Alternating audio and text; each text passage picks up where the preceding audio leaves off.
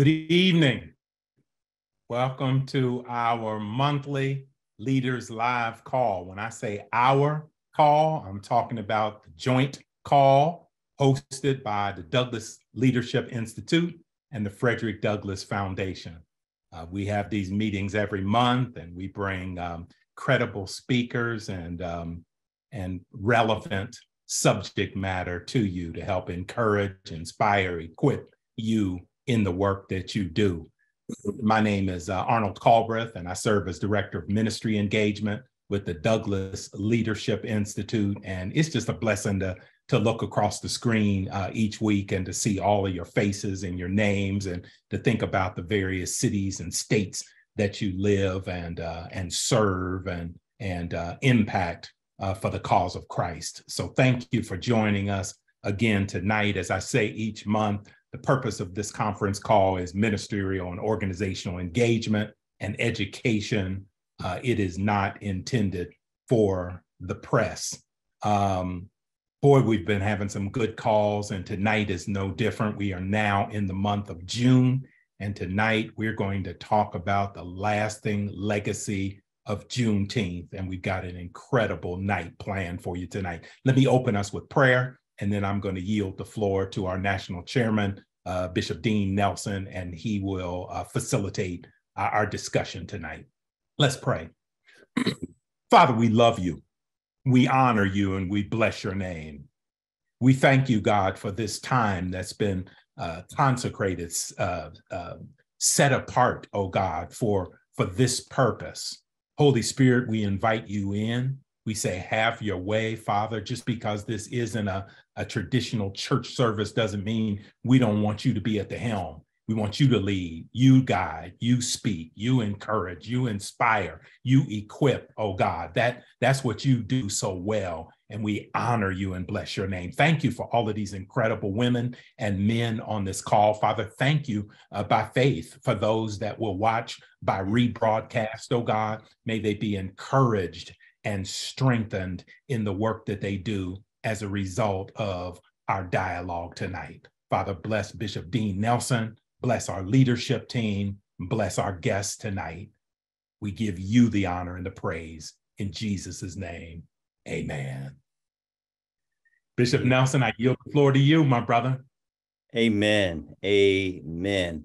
Hey, man, this is a great, great opportunity every month of gathering together uh, virtually with uh, you all leaders from around the country, uh, some from the Douglass Leadership Institute, and some more specifically with the Frederick Douglass Foundation. But man, I'm excited as I'm looking around. I see we've got some great friends and people. I see uh, Dr. Deborah Honeycutt chiming in. It's awesome. Great to see you, Dr. Honeycutt. I see uh, Latoya from FDF uh, of Maryland uh, Denver Jones. I see my buddy Tom Cacadelis from North Carolina. Man, this is exciting. I got J.R. Gurley from Virginia. See Cheryl Sulloway from uh, Atlanta, Georgia. Fern Taylor. Man, thank you guys for joining. I got Pastor Gaines from here in Maryland. Pastor Jules Simmons, man of God, on the sh- on the line with us tonight. So I'm so grateful for all of you that uh, have joined us. Uh, thank you so much. This is a very important event that we do every week.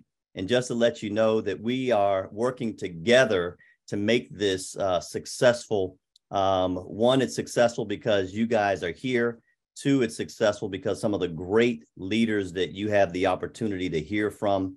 And uh, we want to make it successful. So if there are people that you know or believe that should be on, uh, send them a quick text, uh, forward them an email, and tell them to jump on because this is Leaders Live. That means that you have the opportunity to comment, you have the opportunity to raise some questions uh, live with some of our special guests. And so I'm going to take the opportunity to introduce to you all tonight uh, somebody that I have known probably for about a decade now, uh, Pastor Joseph Green.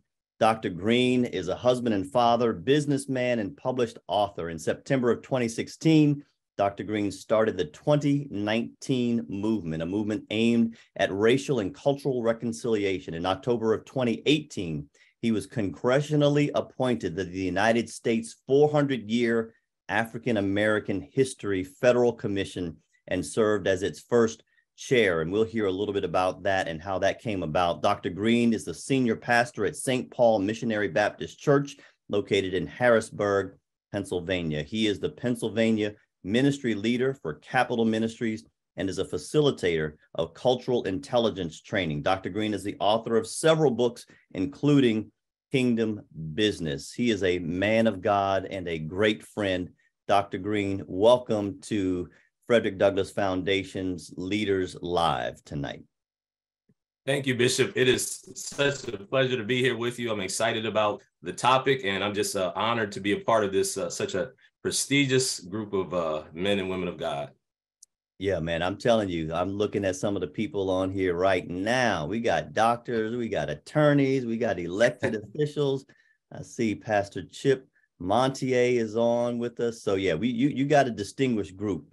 And uh, we want to uh, just so that you guys are a part of this. No, we want to get this uh, these numbers up. This is a valuable piece, and yes, we do a a recording and we re-release this uh, so that people can see it, and it's also can be found uh, on our uh, YouTube page that you can access and send out at any point. But we're grateful for all of you, and we want to help to get those numbers up. We'd love to see us uh, exceed 75 up towards 100. And so uh, you guys can help us in the near future to get to those numbers, and we're really grateful. Dr. Green, let's talk a little bit about you first, and we're going to get to our main topic tonight about Juneteenth because there's a lot to uh, celebrate, and there's also uh, some things to kind of, you know, maybe reemphasize and to uh, maybe even help educate uh, some people on the value of Juneteenth. But let's start with you. Uh, I first met you through a friend, a prayer warrior, uh, Pierre Bynum, who worked at the time at the Family Research Council. He told me that you just got to meet this fantastic guy uh, who is a pastor in Harrisburg, Pennsylvania.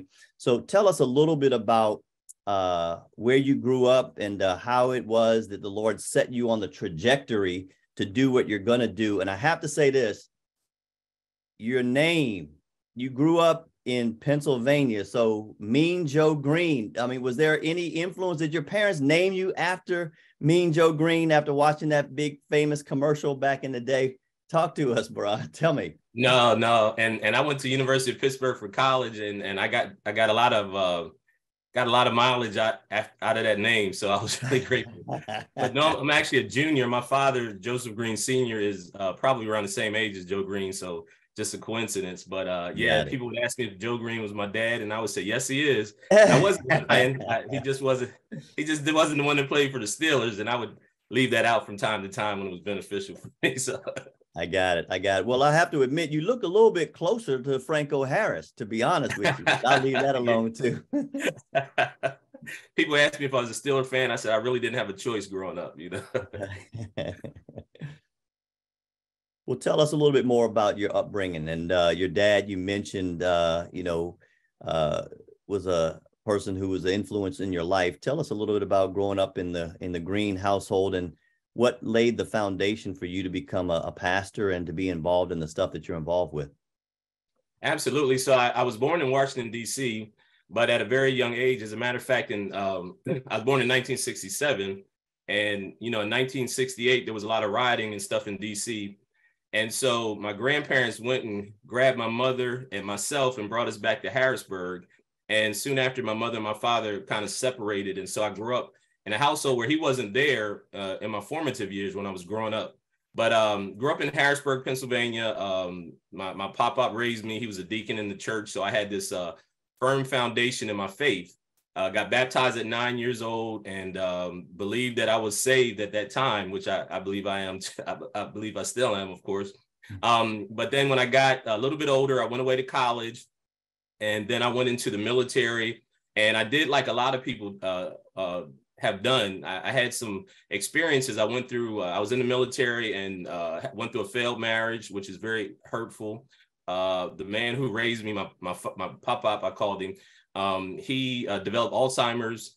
And so that was very tragic. And a whole lot of things hit me at one time. And I began to spin. And I did what most of us know to be the story of the prodigal son. And I was living in Virginia. I had gotten out of the military. And I remember this was uh, well over 25 years ago that the Lord began speaking to me in my rep- in my uh, backslidden state. Mm-hmm. Um, and he says, You're going back to Harrisburg and you're going to be the pastor of St. Paul, which is the church that I grew up in.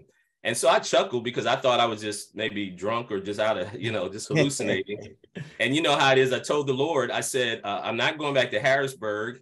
Uh, if I do, I, am not going back to St. Paul and I, I, probably won't be a pastor. So fast forward uh, a few years later, the Lord, uh, like Jonah, he forced me back to back at Harrisburg. And I was really at a low point in that time and I recommitted to my faith. And then the Lord began to restore me and in that process, we mentioned about my father, and I think this is significant.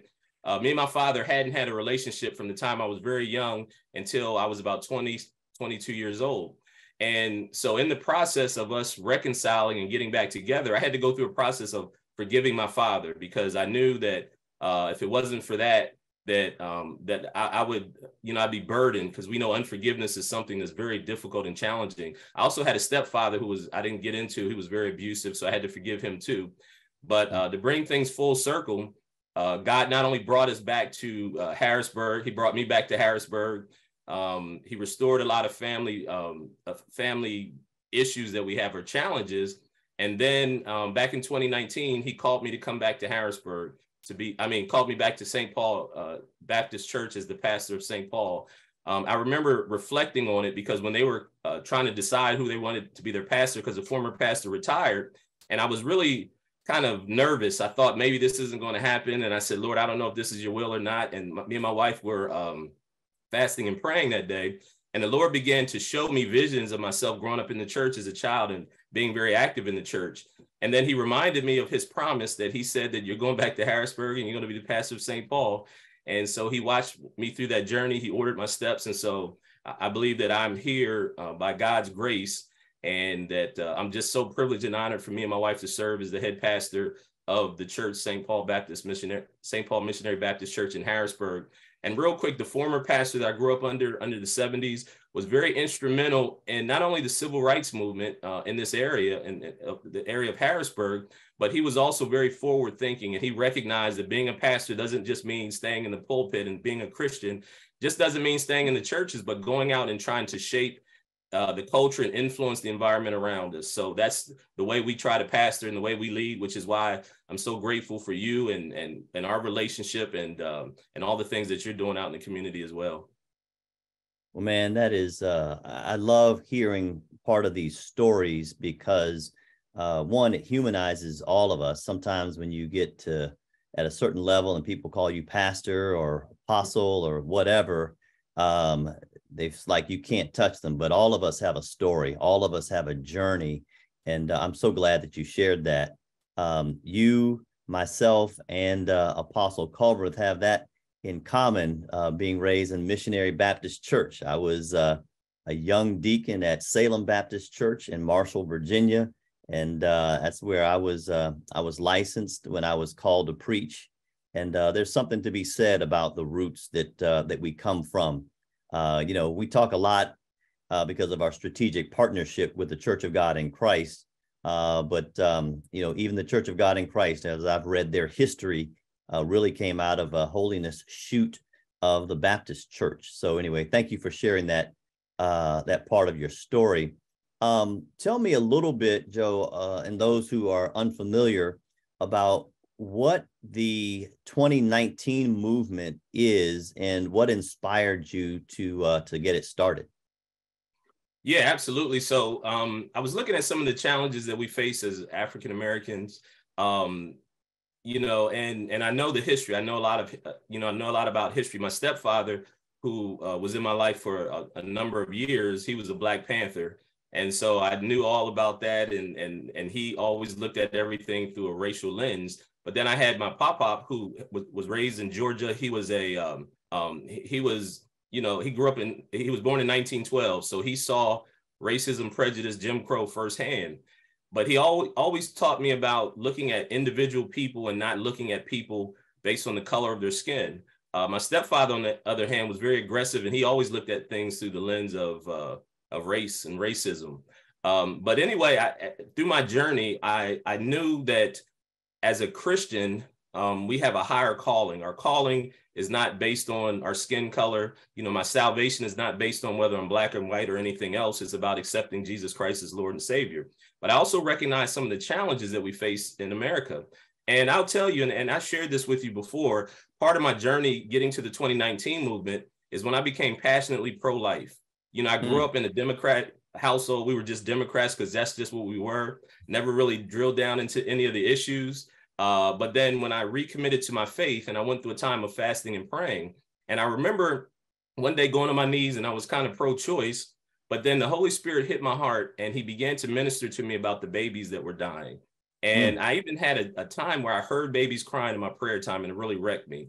And in that time, I prayed, I repented for my participation in that and for not being outspoken. But then he also said, you have to, uh, you got to st- stand up and say something. Um, and so as I began to look at it, even in, in, regards to the biblical lens, I looked at one of the times uh, early on in the Bible where there was a mass, um, there was a mass ethnic cleansing, so to speak. It was in uh, in Egypt when when Pharaoh wanted to murder all the babies, right? All the babies of the Hebrews, all the male children. Um, and then I looked at the time when Jesus was born, and Herod wanted to do the same thing. He wanted to ma- murder all the male children under a certain age. And I began to see this pattern, and there was attack on babies, attack on males, and a breakdown of the family, and there was economic oppression. And I saw that pattern in the Black community. And in that time, when I re- was really studying this out and really asking the Lord, uh, what does this mean? Um, he, he reflected on the pattern in the Bible. And the pattern was that uh, whenever God was about to move in a mighty way, that attack, those were specific attacks that were levied against a certain community. And then I said, well, I wonder, you know, what year we're in. I kind of knew, but I didn't knew, know, but I knew at that time we were approaching the 400 year mark uh, that they've designated for uh, Africans that came to the shore at Fort, Com- Port Comfort, Virginia, Fort Monroe. And it was August 25th, 2019. And this was back in 2015 um, that he began to give me this strategy for not only racial reconciliation, but restoration of a destiny of a people. And so I launched the 2019 movement based on that. And I, think it was strategic because I launched it in September of 2016, and I didn't know why there was a sense of urgency. And then when we saw President Trump get elected, it really exacerbated all of the uh, racial tension in America. And because of that, our message was one of reconciliation and forgiveness. And it is, I think, it's helped a lot of communities uh, when we've gone out and done that. Um, but that's the basis for the 2019 movement: is restoring families. It's the it's pro-life because we understand how important it is for us to value the life of our babies and we understand that that's one of the strategies of the enemy is always to target the babies and target men um, and all these other things that we see over and over again. And we know the enemy is is not creative. He can't do anything new. He just uh, he just keeps doing the same thing over and over again. So i felt if we could attack those issues uh, it would take us a long way not just for the black community but for america as a whole because i believe that america um, has this problem that we can fix if we look to reconcile reconciliation and and and also the restoration of a people that are feel disenfranchised. Man, I mean, I, I when I met you, you had already, um, you know, uh, you hadn't launched that, but in the course of our relationship, I remember when you did, uh, and uh, and it was powerful. Even when you, um, you know, I think there was an uh, an initiation kind of an event that you did at the uh, state capitol, I think, in Harrisburg, um, but yeah, it was uh, it was powerful and it was prophetic. It really was. I mean, because in a way, it gave rise to the role that you would assume with the 400 year uh, commission. And so, let everybody know what that is and tell them a little story behind it in terms of how how the Lord opened that door uh, for you, because I think it speaks to part of what we're trying to do, you, myself, and others to really build this network of godly leaders to be able to be elevated to positions of influence for God's purposes. So tell us a little bit about how that happened. Absolutely. So part of the 2019 movement was really history because in order to really reconcile, I felt like you have to have open and honest conversations. And when we look at history, we have to allow history to to be history, to tell what it is. Uh, you know, there's a lot of editorial editorializing of history and also a lot of people that are using history to try to shape the future which that's not what history is supposed to be about but anyway um, um, when we launched in uh, 2016, then in January of 2018, um, uh, we, well, first of all, we traveled all around and a lot of people got exposed to it, you, yourself included. And then I got this call from you and you said, Hey, Joe, have you heard about this uh, federal commission? And I said, No, I haven't heard about it. You said that there's an African American History Commission. And I said, Oh, wow, let me check it out. And so I checked it out and got some information about it. And I had felt, you know, during the time I was doing the 2019 movement, uh, people kept telling me God wants to give you a larger platform for this message that you have. He's going to elevate the platform. And so when I saw this commission that was uh, signed into law uh, January of 2018, um, I began to pray and I said, I believe that this may be the platform that we can have a larger audience. And, you know, I thank God you had called me and then I called you back a couple of times and I said, Dean, you're a lot more savvy in how, how you can navigate through these congressional things uh, because I knew it had passed through Congress. It got signed into law by the president, but I didn't know the first, uh, you know, first step in how do you get introduced to these type of things. And so you gave me some insight. I reached out to my uh, congressional, my uh, Pennsylvania congressman, and I submitted my packet. And I believe not only God's favor because He's the one that opens doors that no man can shut and shuts doors Amen. that no man can open. Uh, but more so because that he had equipped me and prepared me with a message that was tied into the 400 years of African American history.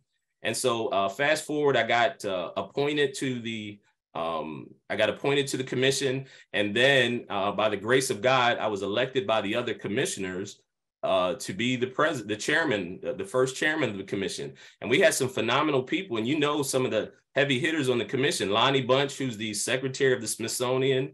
Um, we have uh, um, uh, Dr. Uh, um, Dr. Rex Ellis, who was the um, vice chair of the African American History Museum in Washington, D.C., mm-hmm. and a number of other people, some of them that are your yeah. colleagues as well. Too many to name. I don't want to start naming people, but um, but just just a few. And so I was so honored to do that. But I also believe that it was God's timing um, and His grace that got me there, His favor. And the reason I believe that was because uh, my message, of course, is about reconciliation. It's about looking at history not as a way to try to villainize anyone or make anybody feel bad, or even, which happens a lot, to re victimize people, because we have mm-hmm. to be careful. When we look at history, we have to look at it through an honest and open lens, and we have to have open and honest conversations so that we can move forward.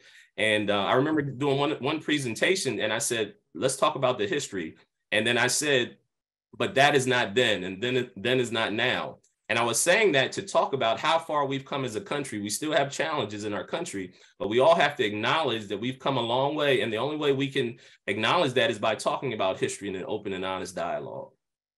Well, man, when you told me that uh, you were selected as the chairman, I mean, I did a dance in my uh, in my office, man. I was so excited, primarily because you and I know a lot of these commissions, particularly if they are, you know, dealing with Black history or Black initiated, that man, sometimes they get the wrong people and they just take it goes off the rails. And yep. um, so I felt like that God had prepared you and or, ordained you uh, for that time. And uh, we're grateful uh, for the leadership that you provided. Because in reality, you had some moments, right, where like they wanted to take it in a direction that wouldn't be God honoring, that was to be condemning rather than simply to celebrate the successes and the triumphs that Black people have had over that 400 year period. Do you want to share a little bit about that?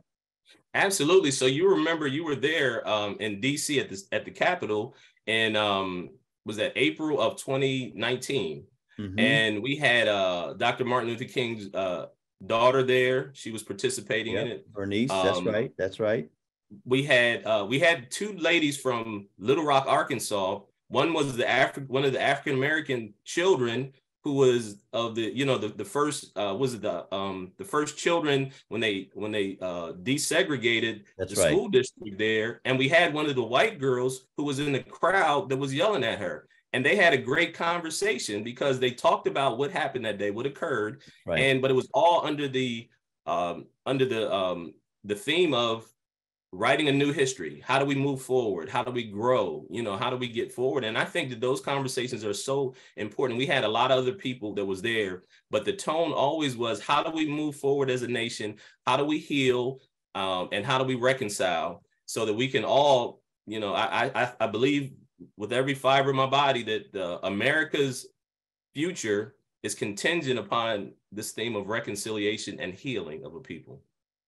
Man, I'm so glad that you mentioned that because the reality is, is the examples that we follow of like a Frederick Douglass or a Martin Luther King Jr. or Booker T. Washington had that mindset. I was recently listening uh, to uh, audio of, uh, of Booker T.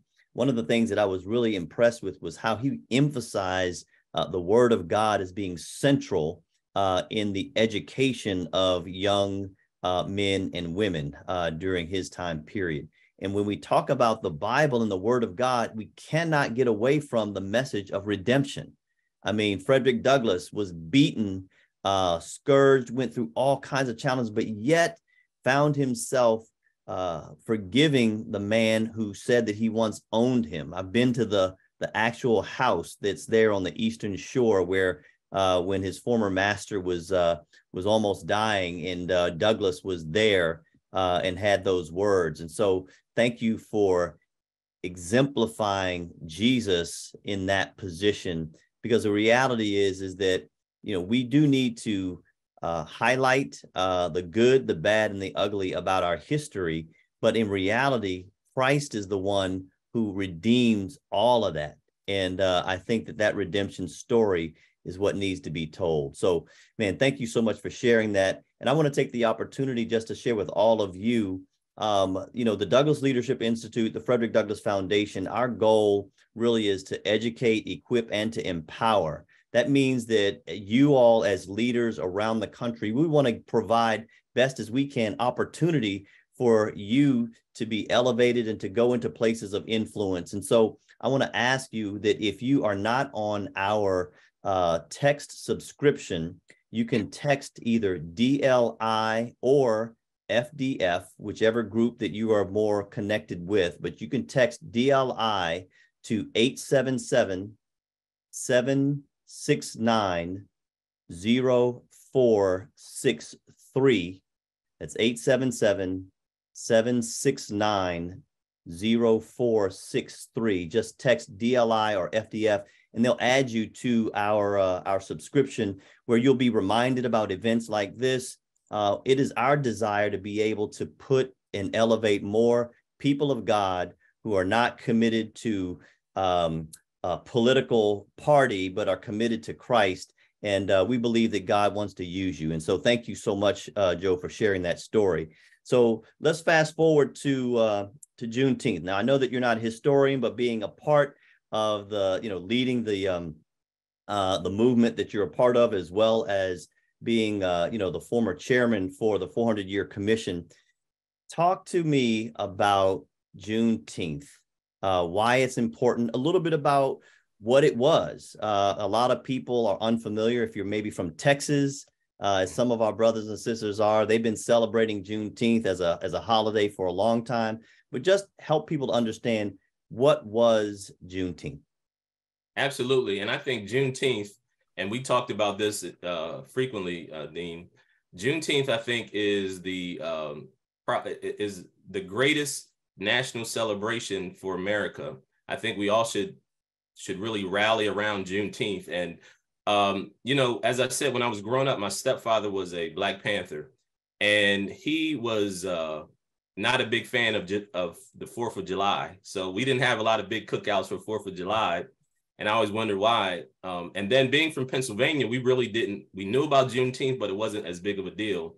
But my friends in the South, especially from Texas, would talk about it, and so I really dug down deep into it. So for those of you who may or may not be familiar with Juneteenth, we all are familiar of the time of slavery when um, um, when Abraham Lincoln, President Abraham Lincoln, signed the Emancipation Proclamation, which was supposed to go into effect January the first, first 1863, and it actually went into effect January 1st, 1863, but there was some a lot of other challenges. Uh, and the Emancipation Proclamation really only freed, freed the slaves in the southern slave uh, states. So anyway, uh, a couple other things had to happen, had to occur. But then um, by 1865, when um, you know when when the uh, Union Army had defeated the Confederate Army, uh, they recognized that a lot of these slave owners you know, they didn't have social media, they didn't have Twitter and Instagram. so a lot of these slaves that were in these southern um, states didn't get the memo. The slave owners weren't really excited about telling them, hey, you are now free. And they even have documentation that a lot of them wouldn't tell them during the harvest season because they wanted to continue to have that free labor. Uh, so uh, fast forward, a Union Army um, that began to go through the South, telling the uh, with uh, General Granger, his name always escapes my mind. General Granger and the Union Army went through the South, notifying um, these slaves that they were now free, and they finally got to uh, Galveston, Texas, on June the nineteenth, eighteen sixty-five. So two and a half years after the Emancipation Proclamation was signed, all of the slaves had officially been no, uh, notified that they were now free and they no longer had to submit themselves to chattel slavery. And so that's why where the celebration stems from. Um, and you know, and the reason I think is such an important piece is because, you know, um, our country was founded on principles and the Bill of Rights that all men were created equal and they were, of course, endowed by their creator with certain inalienable rights, which include life, liberty, and the pursuit of happiness. But unfortunately, because of the formation of the country, in order for them to compromise, as most of you know, in order for them to compromise, for them to come together and have a United States, they had to allow the, the slave, the southern states to still have the institution of slavery.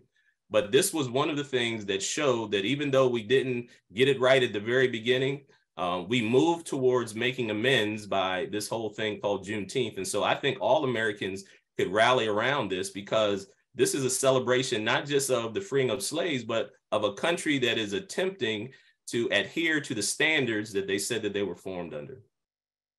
Man, it is uh this is my dream. This is really what I'm hoping.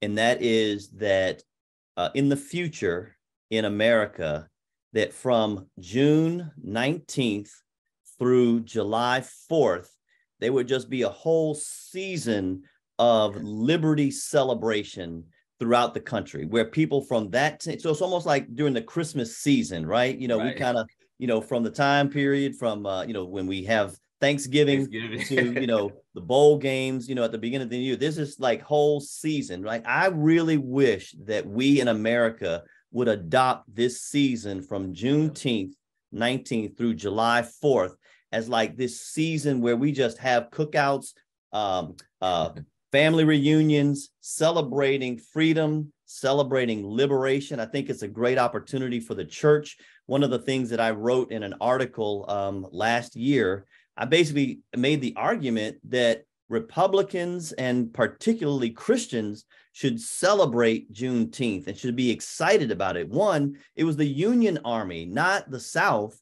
that that that basically you know initiated you know Juneteenth. For Christians, in the early stages when Juneteenth first started taking root, they also referred to it as um, Jubilee uh, Day. It was a time period where, you know, slaves were set free, debts were canceled. That idea of the Jubilee, and I believe that that is something that uh, we should initiate. So I'd love to say for all of those who are on this call, if you've got influence uh, yes. in your different states, just initiate this idea that we should have all kinds of celebrations, picnics, everything from Juneteenth all the way through July 4th, that this is a season of liberty, a season of celebration. Yes. And um, because, you know, in, in truth, you know, I, I, won't read it, but um, I got a uh, an email uh, this past week from somebody that is on our Frederick Douglass Foundation distribution list that basically was like, he was ripping me. He was like, "We need to. This is a terrible idea. Juneteenth is terrible." He's like, "We need we need to elect Donald Trump back so he can cancel Juneteenth." And in my mind, I'm not going to say what I really wanted to say, but in my, I was like, "Bruh." Donald Trump was the one who, in his platinum plan, said that if he was elected again, he would initiate and make Juneteenth a federal holiday. So we do need to do some education uh, even within our own Christian movement, sometimes for people to be better uh, educated. Now, I do understand if you go to a Juneteenth celebration in some neighborhoods, they'll have July 4th and put an X across it. That's not what we represent. There would not be Juneteenth if there wasn't July first 4th.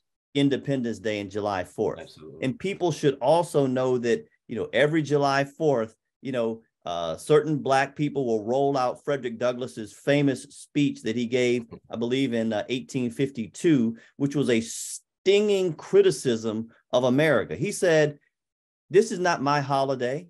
Frederick Douglass did say that, but that was before slavery had ended.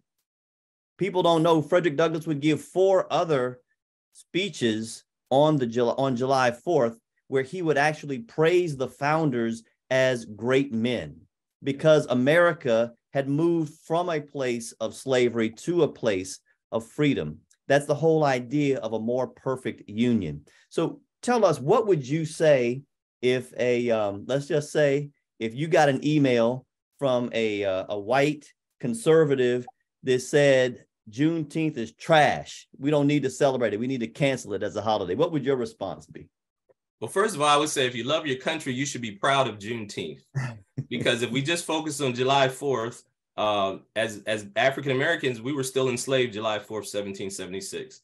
But Juneteenth, we all got our freedom. And so if you love this country and you're patriotic, you should be proud of Juneteenth because most people don't realize this, but the uh, Western world with Great Britain and then the United States was one of the first uh, civil, uh, parts of civilization that made an open um, profession and abolished the whole institution of slavery because slavery is a thousand year old institution and it oh, still exists in other parts of the world. So we were the first one to make a stance. And if you look at 1776, when the country was formed, and then you look at uh, 1865, it was less than 100 years after the formation of our country that we officially legally banned slavery in America.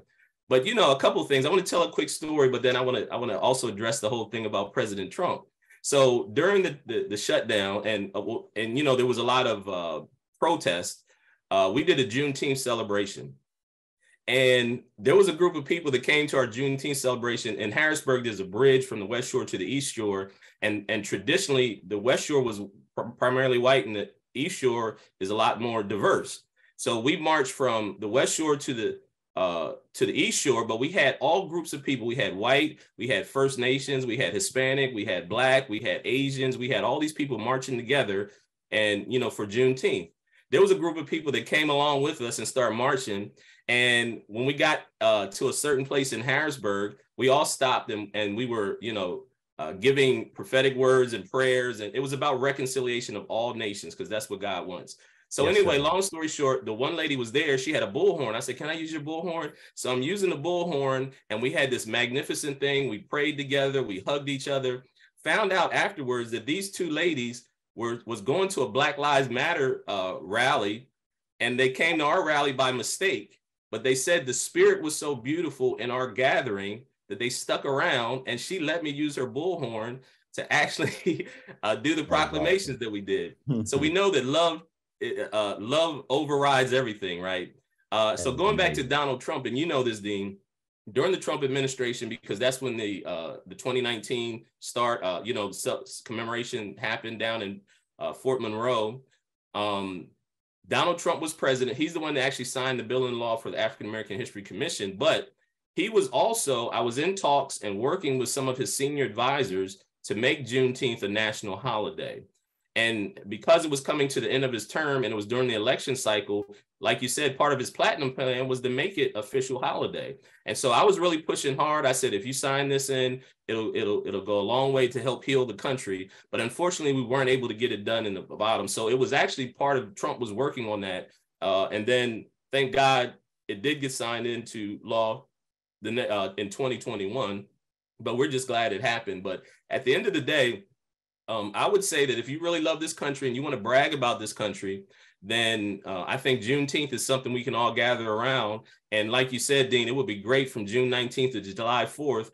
Uh, we just have a big freedom and liberty fest for all nations, all people group. And, and I would say it would be great to have events where we intentionally invite people from other cultures to come together. That's how we really heal by, uh, you know, the message of the gospel is about preaching the gospel to all nations. And that doesn't mean that's ethnos in Greek, which is where we get the word ethnicity from. And mm-hmm. so the mm-hmm. actual message of the gospel is to preach out, preach the gospel, to declare the gospel to all people group.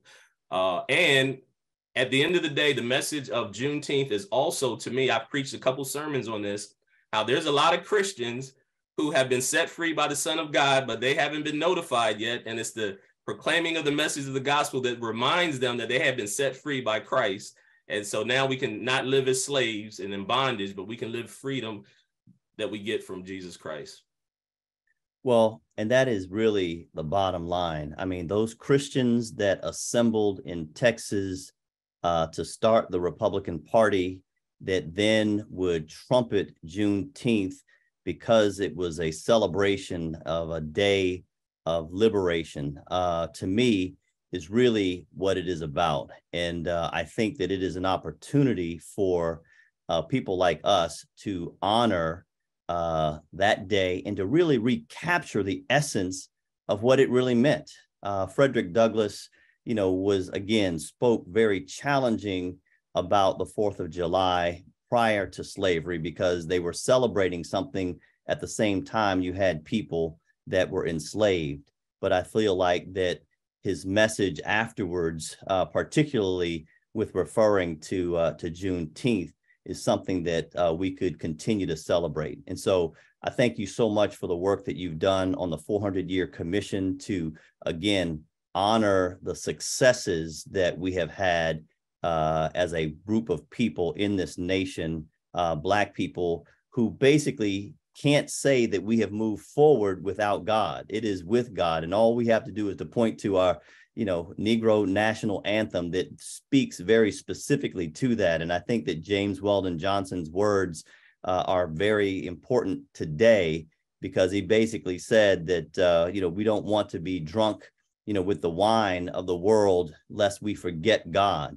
And I believe that many of us are in that place. And so I'm so grateful for the work that you've done. What we want to do is to go to uh, some questions uh, in the chat uh, want to remind folks that um, this is an opportunity for for them uh, to uh, be able to ask some questions and to make some comments. And so, if you see some things in the chat that you want to uh, respond to, Joe, you can. I'm reading a little bit of looks like this is from Nicole Bennett saying, "I'm having a Let Freedom Ring party on June 30th with Congressman Wesley Hunt. Let's get this uh, from concept to practical."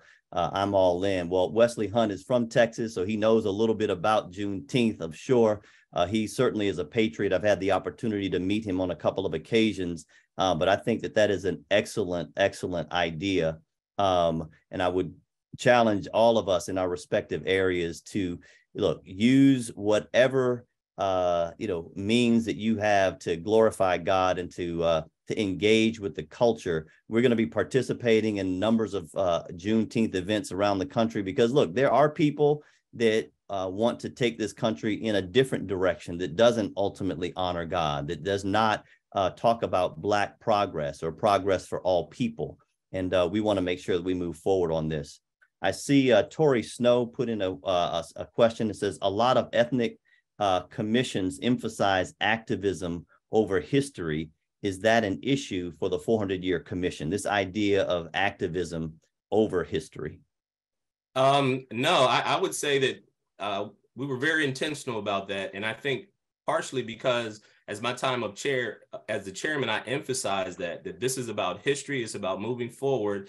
It's about how do we uh, how do we heal as a nation? And and part of it was because me being a pastor we open every and close every meeting with prayer um, we were constantly in prayer. We constantly acknowledged the influence of God in, in what we did. And we we we also looked at the fact that uh, well, my executive director is a lady by the name of Miss Addie Richburg, which you may know. Dean, she is the um, the president of the National Association for Faith and Justice. So she's a woman of God as well. And so throughout, we always acknowledge God, but it, it was always about being nonpartisan, non-biased, and just let history speak for itself. You know, we don't need to editorialize history and we don't need to use history as a crutch uh, from moving forward. And, you know, Dean, one of the things that, and I saw another question I wanted to uh, address, but, yes. you know, the, the core of the 2019 movement, when I talked about uh, Egypt coming out of, bond, Israel coming out of bondage, it was clear in scripture that God says, I've heard the cries of my people and I'm coming to rescue you you know, even in this movement of trying to reconcile, and even during the time of slavery, we recognize that it was God who not only sustained us through slavery, but He's the one that ultimately allowed us to get to a place where we were free. Yes. Um, but uh, the question from Emily says, "What is the best way to grab the Juneteenth conversation from the Biden woke camp and the culture?" Well, part of the woke camp, uh, which most of you know is rooted and grounded in Marxism and what is known as critical theory. And so, critical theory uh, tries to tear down the institutions of the Judeo-Christian Western world, especially in America, and it's very critical of all aspects of American uh, of American society. And so, what I would say and remind uh, people uh, in the woke culture that uh, you know, especially if you're black, uh, Af- you know, the Europeans didn't didn't create slavery; they actually adopted it from their African counterparts. Um, and Africa still has slave slavery where Africans are enslaving Africa. And so um, we have to recognize that this nation is not a terrible nation. All nations have issues. I still believe that the principles that this nation is founded on are the principles that are principles of prosperity and peace. There are still bad people all the way around, but at the end of the day, it's the principles that it was built on originally that allowed us to move forward. If you think about Martin Luther King and the civil rights movement, he talked about our forefathers writing a promissory note and when they went to Washington, D.C., they were simply coming with a to cash the check that the four founders had written when they wrote the Bill of Rights. And so they didn't have to introduce any new concepts. They just had to remind the nation of the concepts that the nation was already built on, which is why that's something that we can say that, uh, you know, we've done a, a, a good job uh, of that. Hey, man, I see Dr. Linda Lee Tarver from Michigan says, um, uh, how can we address the tendency to dub Juneteenth as a Black only celebratory? It is thought about that way. Um, you know, I would first say that when we try to do events, we're hosting one here in Washington, D.C. on June the 19th. And uh, some of our biggest sponsors for that event are not Black led organizations. We do have some, but um, I think that number one, Juneteenth would not have happened if it weren't for white people and black people. And I think that it's an opportunity for us to honor, you know, President, uh, you know, Lincoln, uh, who put that forth, uh, to those who are in the military, uh, because it was the Union Army and General Granger who uh, actually made that proclamation. Uh, I, I, think that sometimes it is a difficult thing because many people think of it, you know, as a, as a black holiday because they were, you know, Black Americans who were enslaved. But I think that there are meaningful ways to help engage others. Um, and I think, particularly for those of us that are more conservative, uh, it's a great opportunity for conservatives to be able to engage with something that is not going to be offensive to them. There are some Juneteenth celebrations that we might go to where they're they're honoring and celebrating stuff that we don't support, and uh, I think that we should uh, take every opportunity to uh, engage with others and really to help educate others. I'm really proud of the Family Research Council, Hillsdale College, uh, that has a great statue of Frederick Douglass on their campus, uh, Liberty University. There are a lot of schools, and um, I would say, you know, uh, white evangelical groups that are partnering with us to do this. And so I would say to identify uh, some of those type of groups going into it and uh, and and to join uh, to do that together. I, will also mention that um, the Gloucester Institute, led by uh, Kay Coles James, they they have a beautiful property uh, down there uh, in uh, part of Virginia, and uh, they have invite all kinds of people to come out to have games and festivals, and it is you know not just African Americans. So, Joe, you have anything to add to that? No, I think those are great points, Dean. I think that um, the conversations are important.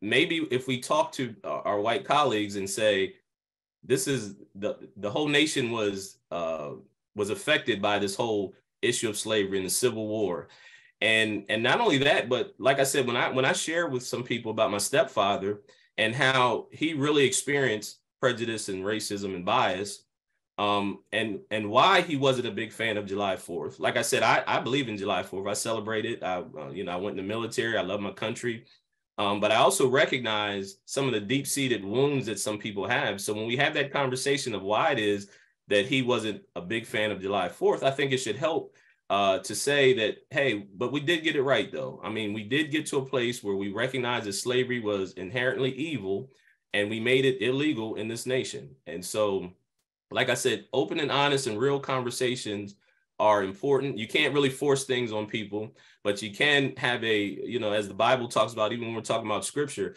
always be ready to give an account for what you believe and why you believe it. And the person that really has a heart to listen to you, I think will listen and, and hopefully respond.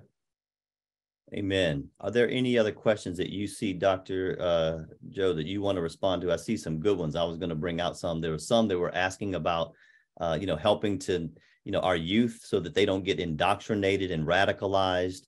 Um, do you guys do anything at your church or anything in your neighborhood with youth to help them better understand these foundational truths? Yeah, we have uh we have a youth group. I also had a um uh, mentoring program. It's not right now currently running called the Josiah Project, and we just look to identify young leaders and thought you know thought leaders and really equip them and educate them to um, to be able to have those conversations and for them to be equipped. Because when we don't have those conversations, uh, other people will have those conversations, and if they're leading the narrative, then we'll have a difficult time many times trying to bring things back around. And so we should be intentional about having these conversations with our young people, talk to them about history, hopefully get them uh, excited about learning about history through history in a way that they will see through the true lens of what actually happened. And also to, to, to look at the fact that although we were in, enslaved at some point in time, that look how far we've come. And even in the midst of slavery, uh, we did some great things as a community. And so, um, yeah, just have real open and honest conversations, be proactive in having those conversations, and just, you know, let's really teach history and not uh, editorialize it.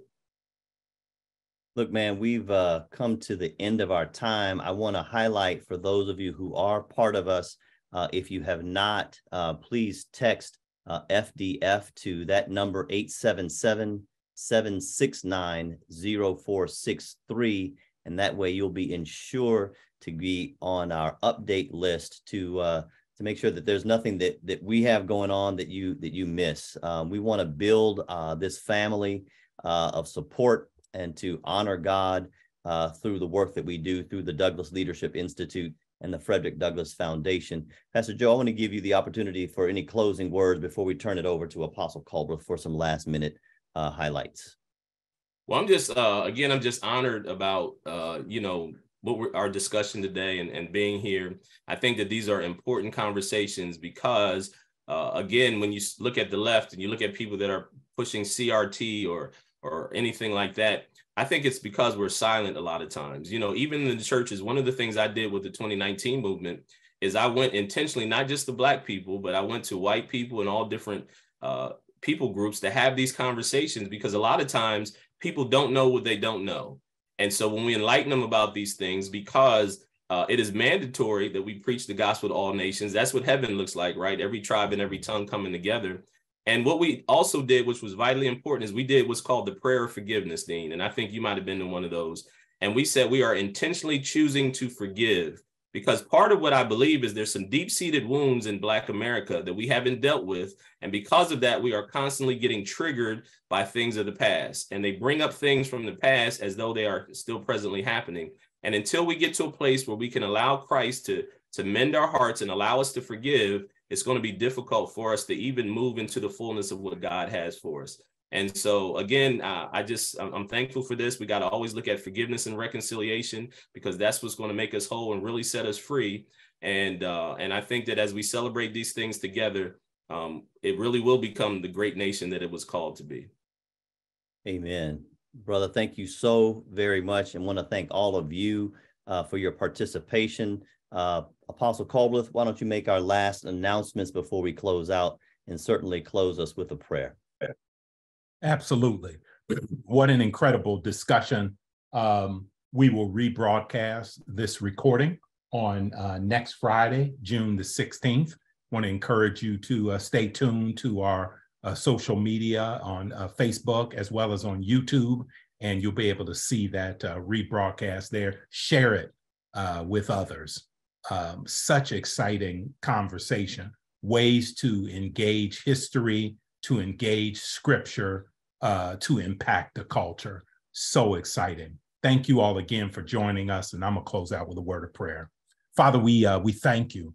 We thank you for this discussion. We thank you for ongoing equipping, ongoing education and enlightenment, Father, ongoing um, uh, grassroots activism, oh God, in our communities for the cause of Christ, for the advancement of your of your kingdom, for for the uh, the lifting of others. Oh God, bless every individual, every family, every church, every um, organization and ministry represented on this call, Father God.